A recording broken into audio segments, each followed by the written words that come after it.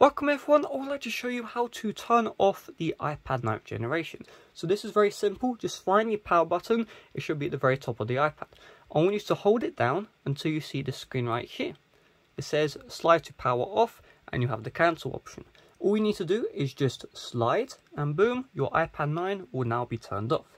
You will need to wait about 10 seconds or so and once you see a properly black screen, you can tell that the iPad 9 has been completely turned off. If you would like to turn back on the iPad 9, just hold down the power button until you see the Apple logo.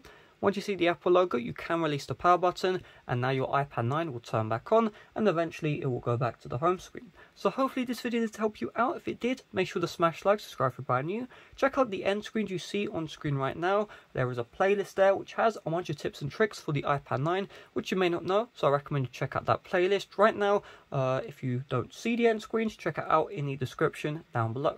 Thanks for watching. See you guys later. Bye bye.